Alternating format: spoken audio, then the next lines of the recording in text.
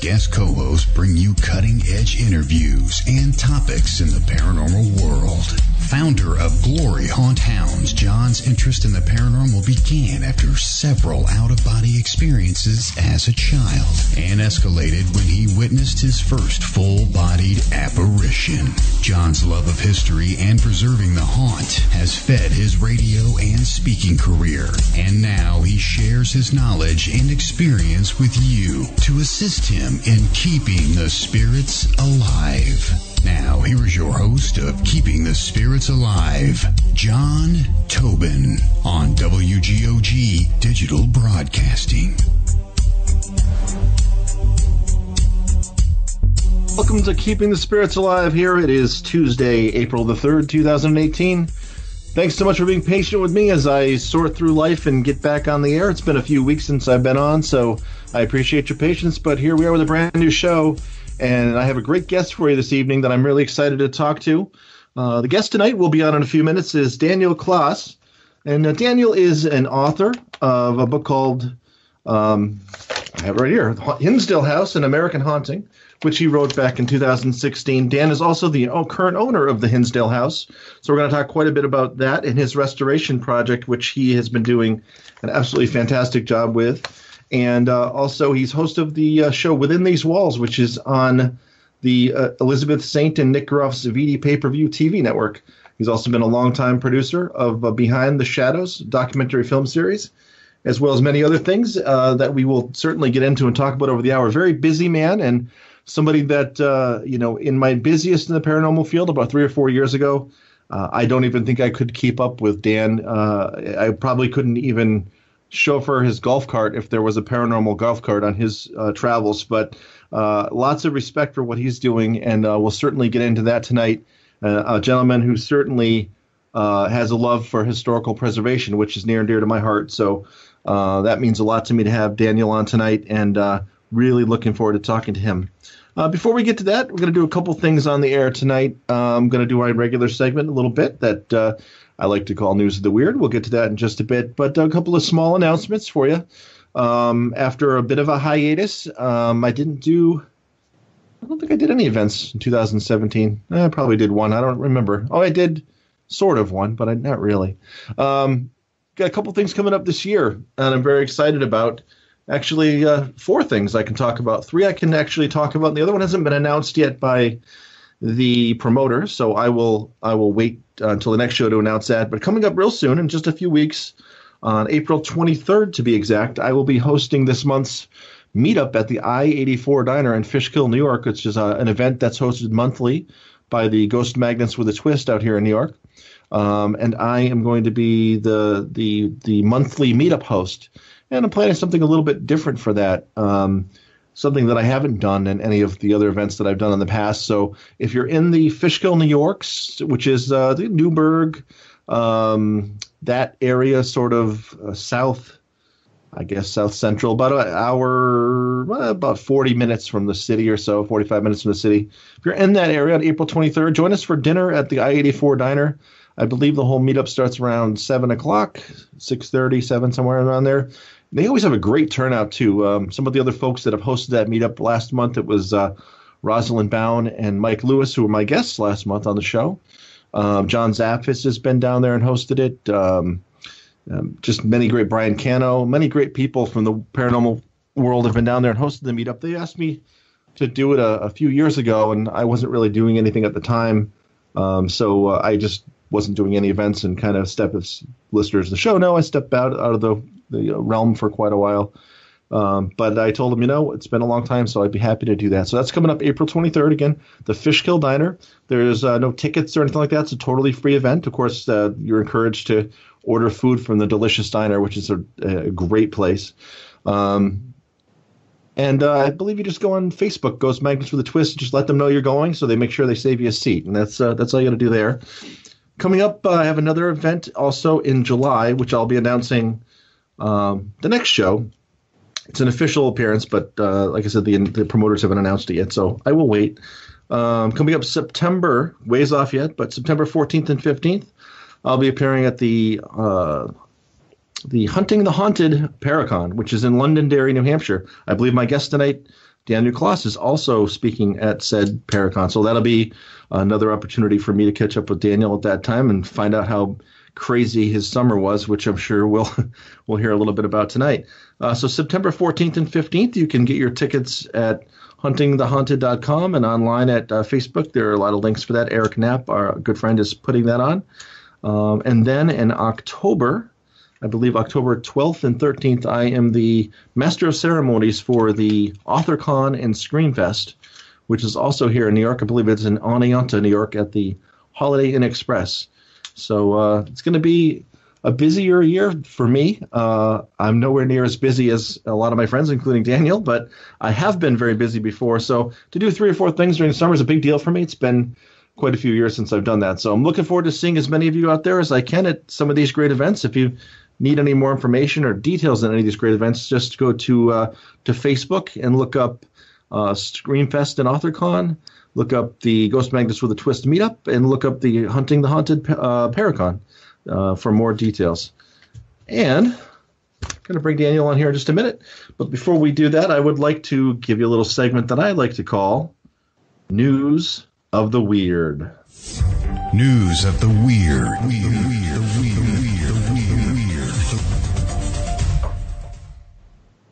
And if I ever decide not to do News of the Weird anymore, I'm going to still play that because I just like to hear Todd say News of the Weird over and over again. It's great. So, got a couple of stories for you today that caught my eye that you will not see in the mainstream news uh, that I wanted to share with you this week. First of all, uh, the one comes to us here from Romania. Uh, home of Transylvania, home of Dracula, Romania. This is Constantine Reliu, 63. He appealed unsuccessfully to a court in Barlad, Romania in March to overturn a death certificate that his wife had obtained after not hearing from him in more than a decade. According to The Guardian, Relu left Romania for Turkey in 1992 to look for employment, but he neglected to keep in touch with his family. So in 2003, Relu's wife, believing he had died in an earthquake in Turkey, argued in court for a death certificate, which didn't come to light until Relu was deported back to Romania because of expired papers in Turkey. Upon his arrival, immigration officers explained to Relu that he had died in 2003. Hmm. His appeal, however, failed as the court, the court maintained he was too late and the ruling is final, leaving Relu in an odd state of limbo. I'm officially dead, although I'm alive, Relu told Romanian media outlets. I have no income, and because I am listed dead, I can't do anything. Hmm. Now that's a predicament that uh, I wonder what it would be like to be in. Now there are days that I wish I was dead, and there are certainly days that I wish that people thought I was dead, but not really. I'm just so sad there. But what do you do in that situation? The, everyone's telling you you're dead. I mean, I don't know. That's that's a tough one to come back from. To find out what Daniel would do in that situation. Anyway, the next one is uh actually comes to us. It's a paranormal story. Uh, is from the Listowel Paranormal Society in Windsor, Ontario, Canada a group that I'm not particularly familiar with, but they were surprised when police arrived. Uh, the uh, the member was surprised when police arrived at his door on March 13th, just a few weeks ago, inquiring about a small black box with a red wire protruding from it that he'd left at Mackenzie Hall in Windsor. The Windsor Police Explosives Disposal Unit was called to the hall to investigate the box, but determined it was safe and not explosive. Society members had used the box on March 9th at the historic building to sweep for spirits. Jen Parker, assistant director for the society, called the box of all things, an EMF detector, and said each member of the team was using one while looking for ghosts. The society's spokesman also told the CBC there were strong signs of paranormal activity at the hall, especially in the old jail dressing room and basement. Uh, and also, no signs of a bomb were found anywhere on the premises. So, uh, how about that? So, just be careful, investigators out there. Don't leave your equipment behind. Some folks out there are not as familiar with what these devices are used for and uh, you could have some unexpected visitors. So here's another interesting story in the things that make you go, hmm, department. So we have uh, experienced wait times in the emergency room. They're notoriously long. It's kind of like kind of like visiting the DMV or you know some place where you just go and you make an appointment, you show up early, you're there on time, you're waiting for seemingly sometimes no apparent reason. Well, wait times in emergency rooms can be notoriously long, and Danny Kaczynski's experience was no different. On March 6th at the Villages Hospital in the Villages, Florida, the Lady Lake resident, 61, was at home earlier in the day when a neighbor called 911 to report Kaczynski was drunk and suicidal. According to WOFL TV, first responders took him to the hospital where he waited for two hours to see a doctor before getting exasperated and stealing an ambulance to drive home. Kaczynski parked the ambulance in the driveway of the neighbor he thought had called the police about him, and when Lake County Sheriff's investigators tracked him down, they found Kaczynski curled up in the trunk of his own car in the garage. Kaczynski was put on a no bond status because he is still on probation from a 2017 drunk driving charge. And the things that make you go home and you can't make this stuff up department. Give you one more. Give you one more little story here before we bring on our guest. I had a couple to pick from here. Which one do I think is uh, is the best here? We got some from you know the weirdest stories always come from Florida, and I always say that. And and uh, it's either Florida or Texas. Always have the weirdest stories, and occasionally uh, occasionally Europe. But this one comes from Texas. Now that we mentioned uh, Texas, so uh, Ana Lisa Garza, who is a Starr County District Judge in South Texas, she's well, she's running for the state of House seat in District 31. Garza has received almost $90,000 in contributions to her campaign, campaign, but more than 50,000 of that has been in a most unusual currency. Well, what currency, may you ask, is this $50,000 contribution in? Well, it's, of course, deer semen. Deer breeder Fred Gonzalez, treasurer of the Texas Deer Association, said breeders often donate semen straws, and I'm not sure why they're called straws because, well, anyway, uh, instead of money, semen is a very common way for us to donate. Uh, one collection of a buck could lead to 60 straws sometimes. If you have a desirable animal, that is, it's a way to bring value without breaking the bank. A campaign finance report valued each straw donated at $1,000. Gonzalez told the Dallas Morning News that the semen donated for Garza's campaign went into a tank sold in one lot, the proceeds of all which will go to the campaign. Hmm. Well, I'm glad we don't do that for uh, with people. I guess is the best way to put it, because uh, there would be some unwanted donations for certain campaigns. Is uh, we'll leave it at that, and I won't touch that one, and I'm certainly not going anywhere near it with a straw, just for the record. Uh, so leave that as that. But uh, anyway, enough of the news of the weird. And uh, I think it's time to bring on Daniel Klaes. Again, Daniel is the current owner of the Hinsdale House in Western New York and near the Buffalo area. He is uh, also the longtime film producer of Behind Behind the Shadows documentary film series, a host of Within These Walls on Nick Groff and Elizabeth Saint's ViDi pay-per-view TV network. That does air every Saturday at 11 p.m. at www.vidi.space. Um, you can also read Daniel's book, Hinsdale House: An American Haunting. It is available on Amazon and all fine booksellers. And Daniel also has some interesting takes on the paranormal, staying in touch with spirituality, which I'd like to talk to him about a little bit and also uh, certainly a love for historical preservation and doing a fantastic job with the house itself. And we'll talk more about that. Without further ado, Daniel Klaes, welcome to Keeping the Spirits Alive. Hey, thanks for having me, John. I'm so glad to have you on. Um, somebody, it's funny because uh, last year we were um, at an event where we had a chance to talk a little bit. Um, and I, I swear that we had met years ago but I couldn't pinpoint where or when. But we I've both done so many things that uh, could have met in passing and and probably probably five times over and not remembered it for whatever reason. So I'm glad to finally have you on the show, and I'm glad that uh, we have an event we're doing together, so we'll get to keep up a little bit, a little yeah. bit more. It'll be great. I think there'll be a few. Yeah, I'm sure there probably will be a few. Uh, and then I'm getting my feet back wet again, so that's uh, you know, we'll see we'll see how that works out. So let's go back a little bit to um, tell the listeners, if you don't mind, you know, just because people are always interested in this. Where did you get your start in the uh, the paranormal world, and what first spiked your interest in all this crazy stuff? For me, it started when I was a young kid. You know, like because we had weird things happening in our house, and I was always interested in kind of figuring out why these strange things were happening. Um, my parents always sloughed it off as nothing, you know, like, but they knew, they even say to this day, they know, they knew that there was things, but they didn't want to scare us kids. Um, like, um, footsteps, uh, you we had weird, uh, crayon drawings on the ceilings. My sister's stuffed animals would be moved in the house. Nothing malicious, you know, just like childlike type things, you know. And I remember I was, uh, sleeping over my friend's house a couple doors over. My parents had uh, gone away, and I went in the house to get my GI Joe guys, and I sounded like I heard a little girl singing upstairs. And we ran upstairs, and there was nobody there. But my sister's stuffed animals were in the middle of the floor.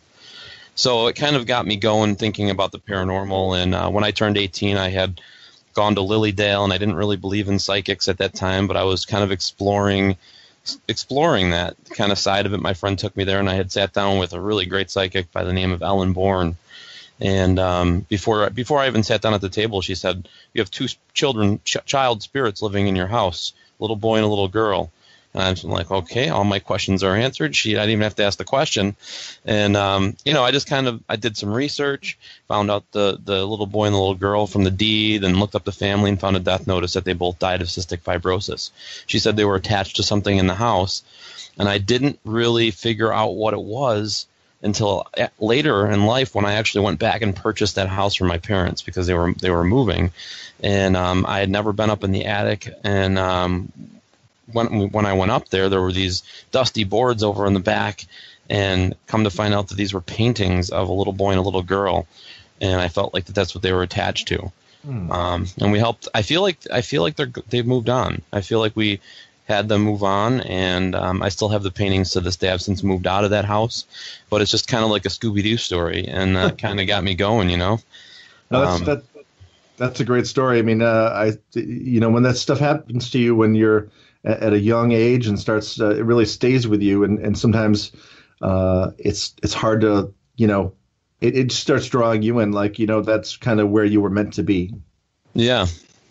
So it's it's, it's crazy how that happens. following life's path right?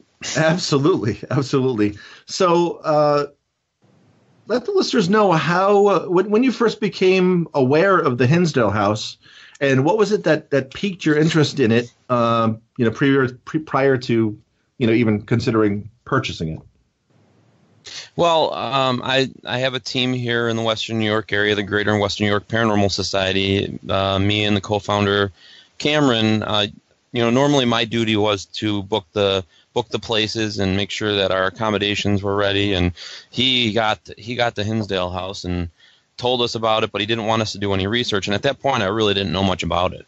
I didn't I didn't know about the exorcisms. I didn't know about anything and uh, he basically just told us he goes come up to the house and i'll brief brief everybody up before we do our investigation. It was uh, like a private thing we were doing and it was in the middle of december. And i know you've been there before. So driving up that that that big dirt road all the way up that hill in the middle of december and then seeing this house in the middle of nowhere you just yeah. you just got a real creep factor you know? Absolutely. And um, it, nothing really negative happened that night but um, when we got in there and sat down, he had us watch the, the episode of A Haunting, a, uh, Dark Forest, which is based on the story of the Hinsdale House. And um, I, I looked at him and I said, "Are you kidding me, dude?" I go, "You brought brought us to a house where there was a failed exorcism and didn't think that would be a, kind of a good thing to uh, let us know about, you know." But you know, it was a good night. We got some good evidence, and um, I had really wanted to know a little bit more about this. So I started researching it a little bit more. I got to know Mark and Corinne, uh, the teams that were um, involved with the house at the time, and uh, uh, it, it just uh, I, I had a personal experience there. I had gone back a few times, and I had a personal experience in the house that I don't believe was related to um, anything that had to do with the Dandy family, which it's famous for. I mean, that's all we were investigating is the the Dandy family claims. And I said to myself, this house is almost 200 years old. It's got to be. There's got to be more here than that. Mm and uh, started researching about the Misnick family that lived there and the McMahon O'Briens and looking up history, and it just became like a kind of an infatuation to me. Um, and then when uh, it came to the point where it was going to be torn down, they had ripped all the ductwork out and the electrical, and I just felt like, oh my God, this is such a travesty to have this thing gone. You know, they think it's going to be worth more money being able to sell the land without the house on it because nobody will live there. And they've tried to run it out so many times, and it's kept keeps going back to the to the owners, you know, the, the, the owners that had purchased it back in the 1970s. So, um, you know, I Michelle Ball, who's the, was the one of the team members uh, at the time, got in contact with me and she's like, Dan, you really need to buy this, blah blah blah, and she really pushed me and she assured me that she would help me, and she she has, and she's hmm. pulled true to her word because she lives close down there. And I said, I don't know how I'm going to do this if I live in Buffalo, and this is an hour and a half away. I, there's no way I can keep running down there, letting teams in, going back and forth, and my car is going to break down. What's going but Michelle and I, I've had uh, so much help. You know, so much great great help from teams and um, investigators, and it's it's really a collaboration. It's not just my place. This is this is for everybody and everybody to come and research, and everybody is. Uh, so many teams have helped me learn new things. You know, I think, and it's it's awesome. I, I think your outlook is very fresh, and I want to talk more about uh, your outlook there and about the restoration project, and certainly a lot more about the Hinsdale House. We have a really short station break we need to take right now, Dan, and we'll be back in, in just a couple minutes here with uh, more of Daniel Klaes and Keeping the Spirits Alive. Please stay tuned.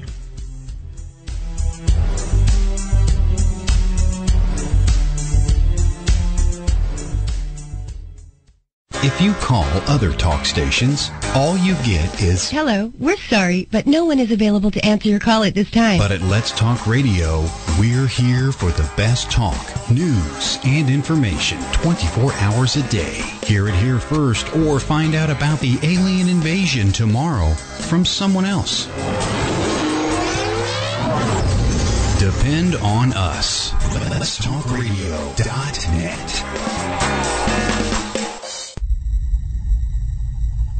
In 2012, Keith Linder, after successfully obtaining a management position at a prestige healthcare company, decides the time is right for him and his girlfriend to move in together. That's putting things lightly. Weird things begin to happen within days of moving into the modern suburban home. The horrors they witnessed and desperately tried to fight off would end up putting them at the odds with members of the paranormal community and themselves. This gripping story told from the house occupant's point of view not only lists tales, but also includes pictures, video reenactments, commentary, and audio of the events being reported.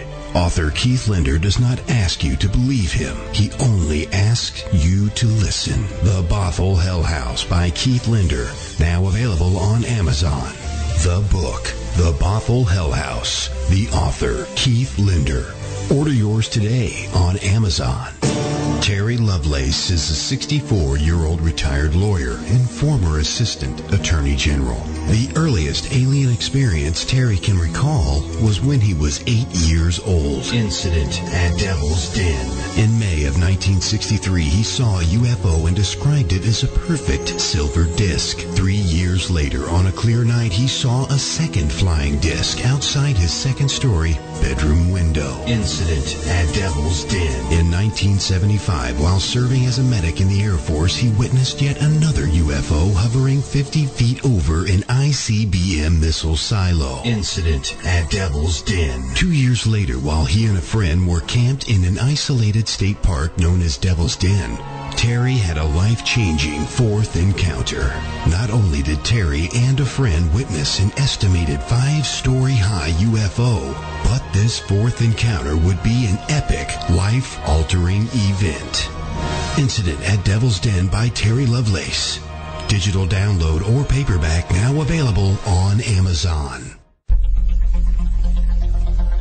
We interrupt our scheduled programming to bring you the following conspiracy theory. Humpty Dumpty was pushed.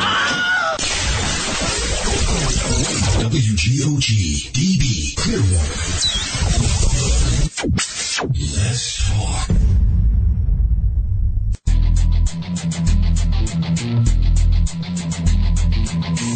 John Tobin here. We are joined this week with our guest Daniel Klaes.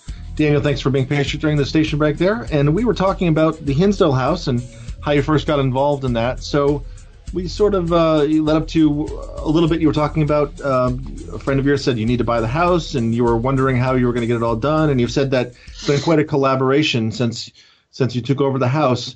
Now, what when you first thought about buying the house, what what were your uh, you know or all along what, what were your intentions for the house, and what did you hope to to do by purchasing it? Um, I mean, I wanted to save it. I mean, it was it's a type of place that you can go to. Um, well, I mean, let's let's put it into perspective. So you're you're if you're a paranormal investigator and you you go on these investigations, I mean, the chance of getting activity or any type of some some type of uh, spirit activity is very low. Uh, every now and then you get some some good things that happen that you can kind of show as a claim or something that you know you can say hey this is this is uh, kind of unique that happened but uh, the hinsdale house something happens all the time you know every time i'm there and i don't know if it's just me but i look at the the book and i look at all the reviews from the teams and guests that have been there and stuff happens to people there all the time hmm. and um, it was that that really kind of drew me to the place and wanted me to keep it viable. I mean, it's this is like a, a, a hotbed of paranormal activity uh, for people to come and research. And it it wasn't uh, wasn't like a selfish thing for me. It was more of like this is cool for me, so it's going to be cool for everybody that's in the field and anybody and everyone that wants to come out to this place to check it out. And I've kind of made it like a, a goal to have anybody come there that wants to come there to investigate. If you're interested in it, you know how there's sometimes like holds on locations or there's high prices for teams to get in, and it's it's all about it's like a money grab type of thing. And uh, and I just didn't want that to be um, happening at the Hinsdale House. Um, it's an awesome place, and I want everybody to come to come there, whether you have money or you don't have money. If you have something to give to the field, um, I want you there, and I want you to try to help try to it's because it's like a big puzzle you know and, and more and more we keep uncovering as, as time goes uh, of the history. I mean we have it dated back to 1799 now. And it's um, you know it's an ongoing thing. So if you can uncover one little piece of evidence that we can put into the puzzle i mean it, it could help and and it has been helping. And, and people have come out in droves to help put a roof on the place and paint or whatever if i need stuff done people people come out and do it. And i don't know if it's because of my approach to it um, or if if they're drawn to it as well. I know that that might have a lot to do with it as well but sure. um, i keep try to keep it like a family you know and there's no drama no drama yeah, no, there at all. And, and, that's a great thing and you've done a nice job of representing the, the field and, and showing people you know uh, your approach as far as wanting to share and, and, and, far more important to you to to share these experiences and to, to continue to learn. Because to, to your point the more people that come out there and have different experiences that they can share with you and share with other people the more you're going to learn about the history of the house and the more you can share uh, and, and kind of keep collecting that stuff because although you mentioned earlier that the Dandy family, we'll talk a little bit more about that. The most famous haunting, certainly at, at the house, um, you know, with a house that old, um, there could be all kinds of activity from, you know, uh, people who had been in the house, who'd passed in the house, people who just left their energy behind. So sure. it could be coming from from just about anywhere, and also you know the groups of uh, the large groups of investigators that come on, bringing a lot of energy there too. So you're getting energy from all all over the place and, and, and driving driving that around, and that certainly helped to stir up, I believe, you know, to stir up a lot of uh, different things. So I'm sure you you're hearing a lot of different things from different people. Um, I remember I went out there. I had the privilege to go out there in 2012 and, and host a meetup out there. And um, for me, it was like I didn't have one particular uh, profound experience, but I had this, and I, I, I, I'm imagining this is I'm not the only one who's had this, but I had this feeling that every room I went to, I was being watched or someone was following me or just kind of make not like in an evil way, but more like a curiosity, like what is everybody doing here kind of way. And I sort of just felt that energy sort of following me around the house. And there were other people that had some pretty, you know, great experiences that night. And uh, I, I, just uh, it stuck with me. And it's like uh, it's one of those places that I'm sure um, I'll come back at some time soon. But um, you know, it was. Have you had that experience of just yeah feeling like you're being followed around the house? Yeah, inside and out. I mean, it's it's uh, both, and it's yeah, all the time. You know, you don't ever feel like you're alone there ever. Yeah, yeah, and that's the feeling I. I mean, there were a lot of people there, but I certainly could feel that energy, and it was like, okay, so I'm gonna go, you know, upstairs, and then I felt like whatever that energy was, it just just going with me, and it wasn't communicating with with me per- personally, but there were certainly other folks uh, that were having. Um, some pretty cool experiences in in uh, in the house that night. So I can imagine that's one night. So, uh, what what do you feel, uh, in your opinion, what's the most profound or interesting thing that's happened to you in your experiences at the house? Well, right at the kind of at the beginning stages of me falling in love with the place, it was a, a experience I had in the kitchen. Um, the electric was gone. There was no rhyme or reason for EMF spikes in the house at that time. The doors were left open, and this place was actually getting ready to be torn down. And we were kind of saying goodbye to it, you know. And at that point, I had done some research and um, learned about the Misnick family. I had saw the videos on YouTube, and I just for for shits and giggles called out for Flo Misnick. And um, all of a sudden, I felt this tingly sensation up my arm, and I had a K2 meter in my hand, and the thing just started going a red solid in my hand. And I felt like I was continuing to have a conversation with her. I felt connected to her, and um, I asked her if she would hold my hand as I went up the steps. Now, I mean, you've investigated before. You know, you set a K2 meter down, and you're lucky if you get a little bleep on it here and there, and then supposedly that's a spirit speaking with you, you know. But this thing stayed lit in my hand to the red, to the peak EMF, uh, all the way up the stairs, and I just felt like, you know, the, the goosebumps on my arms, and I have it all in video too. I mean, mm. it's all uh, documented on video. And um, when we got to the master bedroom upstairs, I had said, "We, you know, follow me into the room." And when we went into um, Mary's room, uh, I lost it and didn't get it back. And I just been like trying to get her. I do get her still, but not like that. I've never got it like that before. You know, again. Uh, so, but that kind of just started the started the research to the fact that okay, so there probably are other spirits here besides this dark demon or demonic spirit or evil spirit or whatever you want to call it that was there in the 1970s that was traumatizing the Dandy family. Mm. You know, it, it, seemed like there was an array of different things and an array of different spirits in and out of there all the time.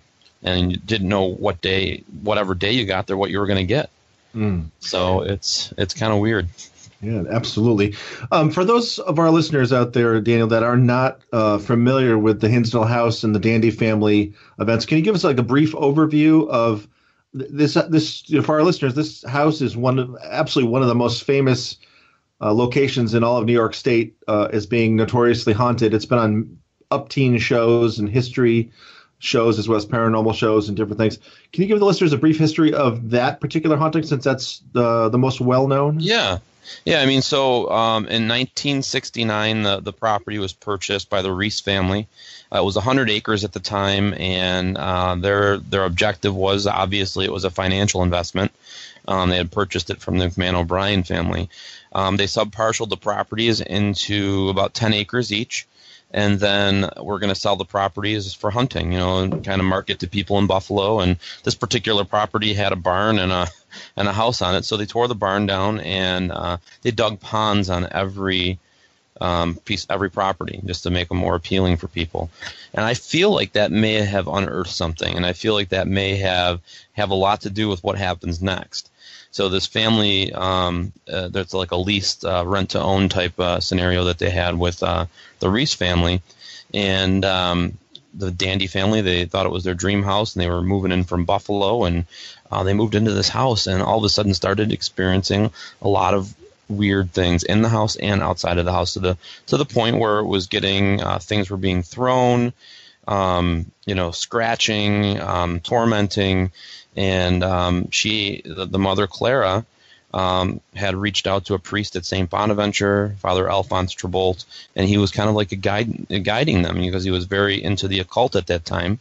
And guys, this is all before um, Exorcist came out, so this wasn't like a thing that people talked about, you know, back in the back in the 1970s, early 70s. And uh, so he was there trying to help them. He did a mass there and it died down for a little bit. Then it came back full force again, and finally um, they performed a sanctions uh, structural exorcism in the house, and uh, that did not work either. And finally, he told the family, you know, my best advice to you is to leave, you know, get out of here. This is the only thing I can tell you to keep your family safe. And then they they vacated the premises, and many families came and went, and uh, you know, we're documenting new ones all the time because it was a, a lease, a rent to own it's not deeded, so it's hard to find the people that actually tried to live there. But people are coming out of the woodwork now that it's uh, popular. Mm. People are saying, "I lived here from here from this month to this month, three months here, six months." You know, it's like nobody wanted to live there. Um, the only ones that actually spent some time there were the Misnick family, and they were mm. older. You know, and I don't think they were as susceptible to what was going on there because of their age. Um, so, so, so, have other families that have lived there come out and said that they had, you know, uh, yes. experiences? They have. Yes, and that's why they left. There was one family that le- uh, left all their personal items there because they didn't want what was ever there to know that they were leaving. Wow. Um, yeah. And I also have uh, knowledge of another exorcism that was performed there. Um, you know, somebody that got overtaken by what was there. There is a dark entity there. There's something darker there. I don't think it's a demon. I just think it's a bastard of a spirit. Um, but it's uh, you know, if you let let anything into your mind, you know, if you if you let your guard down, things can yeah. happen. So I mean, it's, you got to got to protect yourself when you do these things. Right, and, and, I think that's important to note the folks that are thinking about coming out there. I agree with Daniel. I've only been there once, so he knows a lot more about it, sort of way a lot more about it than I do. But I agree. I don't think whatever's there is demonic, but there, uh, whatever presence is there, there is something dark, and there is also I, I've I, I've from experiences from people have told me there's probably some light energy there too. Do you think? Have you had experiences I, with that? Hundred percent. There, I mean, there's so many different theories and, and different things that we've caught that are unexplainable that I have I can't even pinpoint to even right. fathom what it might be. So it's definitely perhaps. right. Oh yeah, yeah. But uh, you know, just for people, it's it's it's safe. There are people there. Uh, we haven't had any reports of you know people being injured or anything like that. No. There's always a, con- a concern with people when they hear about when they hear the word exorcism, they hear dark past. You know, um, I wouldn't go there and antagonize the energy, and I would certainly wouldn't go there and provoke it. But um, I think that uh, you'd be safe, and, and there's certainly people that have had lots of experience that are there. So if you're thinking about going, uh, before I forget, why don't we um, give uh, give the listeners uh, where they can find out the information as far as getting uh, merchandise about the Hinsdale House, as far as purchasing copies of your book, and as far as you know, uh, getting information about how, how they can come out and, and research there as well.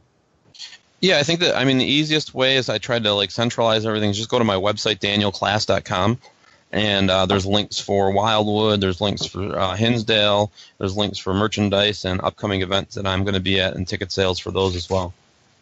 Excellent. I just want to make sure we got that in. I'll probably uh, probably remember again later, but just to make sure I didn't forget.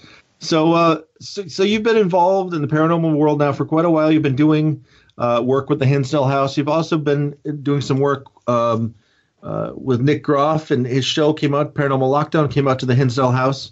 Um, yes. Tell us a little bit about the experiences that Nick and his team had when they were at the house. For those who didn't see the show yet. Yeah, I mean, I was I was there. I mean, that was kind of like just crazy for me to to think. You know, okay, I got this email, uh, and this and the person that reached out to me was Nick's cousin, and um, it, it really was they knew more about the house than I did at that point, so I was really enthralled. Because you know, you get people that send these emails saying, "Oh, I, I do a show, and can I get the place for free?" And they try to like bamboozle you or whatever, you know. But um, I got this email, and because of the knowledge, of vast knowledge that they had and the research that they have done already, I really wanted to find out more and talk to this guy. And then they wanted to come and film their show there that wasn't on TV yet, and I said, you know what, I'm I'm going to take a chance on this. You know, let me let me take a chance on this. They're they're offering uh, some money, and we really need to put this towards the roof, and and just all kind of fit, fit in well at that point, you know. And um, then I got the contract in the mail, and it was Groff Entertainment, and I was like, "Are you kidding me?"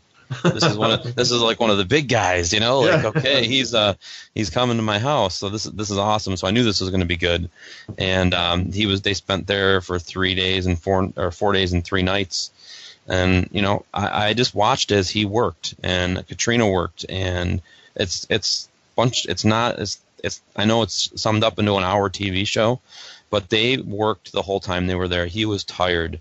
He put it, put everything into it that he had. He really wanted to push the field, and he really wanted to, you know, because everybody was. It was like kind of a stalemate, you know, like all the shows were doing the same thing and then and everybody had the same equipment. Everybody could get the equipment. So he was pushing it with new new equipment you know trying to do like uh, new spirit boxes and, and, and just different things that nobody's ever seen before that new inventors were coming out with to experiment with. And um, i really i really thought it was awesome um, what he was doing. So and i really have a lot of respect for him. And uh, you know i would stick up for him you know, there's a lot of people that say some stuff, you know, about how he investigates and and he doesn't take it seriously, and it's just a TV show. But I, I was there for two filmings. You know, I was there for Statler because I was involved with that one, and I was there for the Hinsdale House, and I know how he works. He takes yeah. it very seriously, and um, you know, he had a personal experience there as well.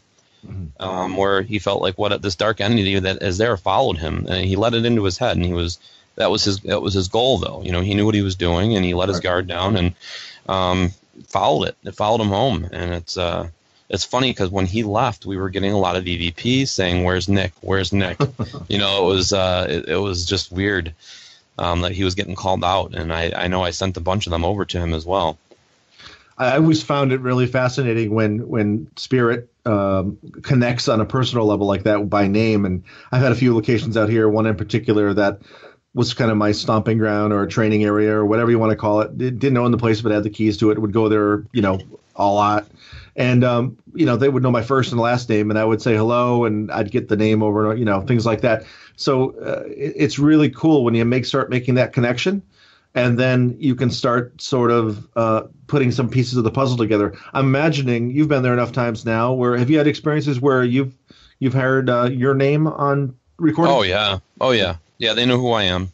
Yeah, absolutely. And so I'm imagining that you know one of the cool things that I, I think you're doing. Uh, I want to talk a little bit no, uh, now about the uh, the restoration project that you're doing. So uh, restoring the house now that you see the house is about 200 years old ish in that yes. that time frame. Um, but we're restoring, or not we're. I had nothing to do with it. You're restoring it. The folks that are helping you are restoring it to its 1970, early 1970s era where it's most known or you know where it's right. most remembered from. What was the uh, reasoning behind that, and um, how far along in the restoration are you at this point? Um, we're we're getting. I mean, the house is pretty. Is the house is stable. Um, we have a complete new roof on both sections of the house. Um, the septic had to be all done, redone. Uh, we had to get a new well pump put in to get water pumping back to the house and um, and being able to use the bathroom and running water and using a toilet. So we had to have all that done, um, and it, it's quite expensive. We had to remove a beehive of 500,000 honeybees out of the floorboard of Mary's room. Um, and you know, I didn't kill those bees, just so everybody knows. I had them removed and brought. There's haunted Hinsdale honey, you know, at a farm down the road now. of but course um, there is. it was it wasn't it wasn't yeah I couldn't kill them. I mean those the, all these stories about bees nowadays. You know you don't want to. Yeah. So we had those removed peacefully, as peaceful as we could, and it was unbelievable. It was honeycombs about four foot into the floor. Those bees have been there for a long time, and Clara talks about them in her book, and from the, you 19, the 1970s. Can you imagine the things that they've seen and heard? oh my god! Well, the funny thing is, is this room, Mary's room. This is where, in the in the show, the flies are, and all the bugs are drawn to this room. And this is the room where all the bees were too, underneath the floorboards. You know, five hundred thousand of them. So it's uh, I- coincidence, I don't know, but it's uh, pretty neat. And we've gotten internet installed there because there was no way to communicate with the outside world when you're up there, which is an extra creep factor. yeah. And um, so we we did have the only way I could get internet is through satellite. So we have satellite internet, so you can and we have these little mini towers for Verizon, and um, so people can actually communicate and go live. And and uh, that was one of my goals is to actually get it shown to the outside world, so people could actually see it. So now we can actually stream with cameras online and things like that. Right. Um, and other teams that go there, so they can go live as well. Um, but we're we're I'd say with the house we're probably about like 75% there. Uh, we still got to do some work in the basement with the with the bricks, and uh, we got to finish the kitchen ceiling, and we got to finish up the bathroom. We did re- remodeled the bathroom to, to to usability at least, and um, and that's about it. And we'll we'll get some new windows put in, and that that'll be it with the house as far as what I want to do to uh, fix it up. Um, the next step I want to do is build a, another structure uh, on the opposite side of the um, driveway. What will act as a base camp for teams that are coming in. So we really cater to teams that are coming in. Uh, there'll be uh, sleeping quarters there and connection to the house. So it'll just help with the element so it's not uh, there's not that much contamination with teams when they come in to do the investigation. So they'll actually be able to go to a static location and be able to be inside the house watching what's going on. And also part of that will be a museum where we're going to actually showcase some of the items from the 1970s uh, i have some of the uh, I've been bestowed some of the things that were used during the exorcism and some of the items that were in the house.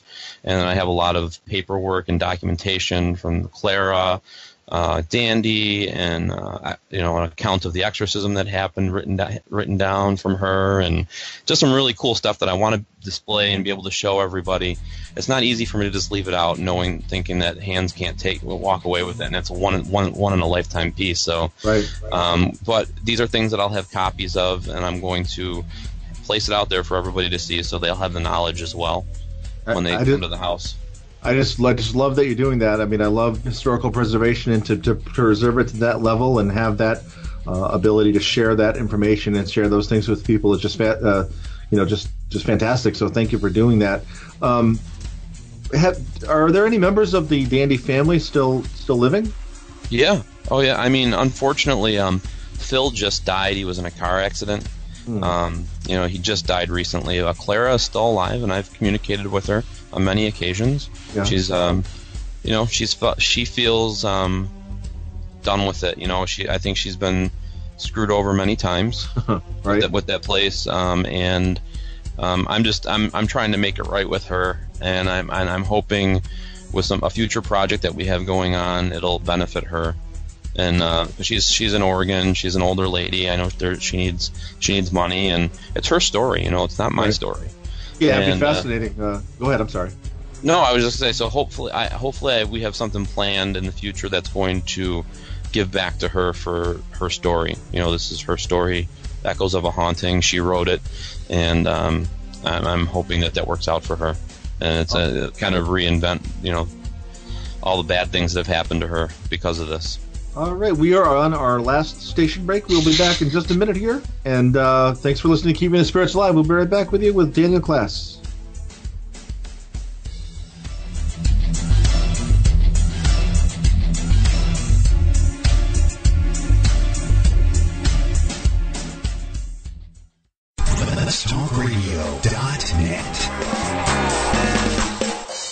Shopping, dining, beautiful lakes and rivers, and a monster?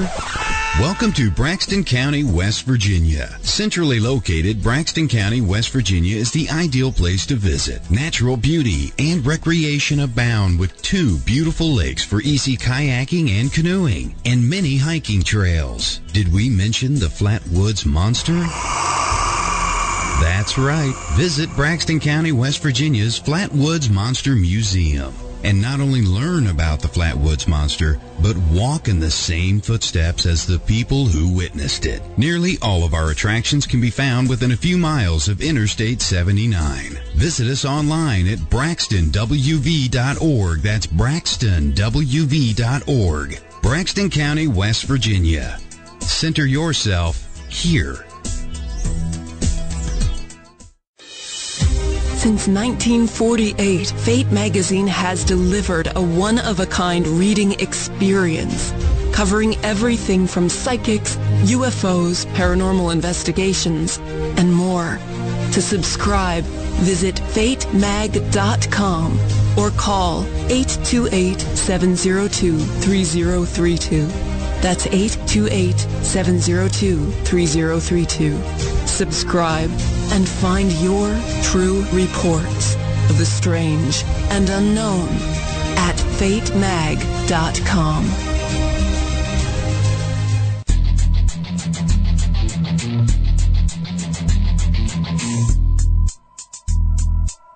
Heroes here again. We're talking Hinsdale House with Daniel Klaes. And Dan, just before the break, we were talking a little bit about uh, the Dandy family, and and uh, I, I I was gonna say that I really think it would be uh, fascinating to to have uh, uh, any member of the family really come back to the house. Um, you talked about maybe something in the future. Would that even be consideration for them? Would they be willing to maybe even consider coming back to the house after what happened to them? I don't think so, but I think that they may consider doing an interview. Right. Um, so hopefully we'll be able to at least do that. She's older now, and um, I think she's her feet are in Oregon, so that's where Right. we'll probably have to go to speak with her about it. Um, be great. Great to get like a, maybe a live Skype feed or something like that uh, Yeah. to, to, to kind of well, talk about I her know, story. I know she watches. She she keeps an eye out because there's been times where there's been teams there that are live, and she'll she'll send me a message and say, "I'd appreciate it if they'd say this." All right, you know. I, so she she keeps me on my toes if uh, if if something's out of line or we're we're not saying something the right way, and I you know I want I want it to be said the right way, and I know there's a lot of you know where you sit at a campfire and somebody says something and it gets passed around, and by the time it gets to the next person or the last person, it's completely wrong you know so i try to keep you know i go into these events and talking to people about the place and trying to get the history as proper as we can so everybody's on the same page with it you know Yeah, no, that's a that's a great way to be, and I think it's great that you have that connection, you have some connection with her to to um, to have that perspective, or to add that, or even offer that perspective to folks while they're there. That's really a cool thing um, that she's still has an interest after all these years, you know, what's going on there, and and feels that connection. That that should go a long way to people who come out to the house and know that you know, even though these people had these, you know, terrifying experiences, they still have a connection there, which is pretty cool. Yeah, I mean, she's always said she loved it. It was she's Mm.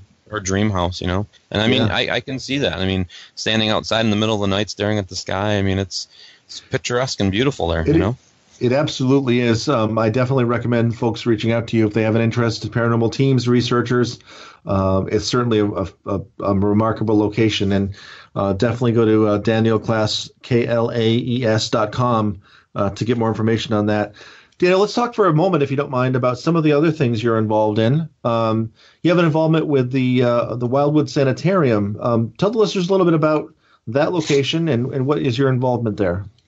Um, so basically, my friend uh, Lori Ann Wagatha, she's um, she was a regular at some of, of some of the ghost hunts I facilitated at different locations, and uh, um, just became a good friend. And uh, I remember we were having our my 40th birthday party, and she uh, came to the surprise party. She was in on it, and uh, her and her husband came and her daughter. And she said, "Dan, could you talk? Could I talk to you for a second? And uh, pulled me in the back room and told me she goes, "There's a sanitarium out in Salamanca." and I'm just I love it to death, and I think I'm going to buy it. And uh, she was asking me about what I do and how how can we make it viable and um, try to restore it, you know, and um, and kind of recreate what I'm doing at Hinsdale House at the Wildwood Sanitarium. And uh, I've just been, you know, helping. You know, I, I help with all the bookings.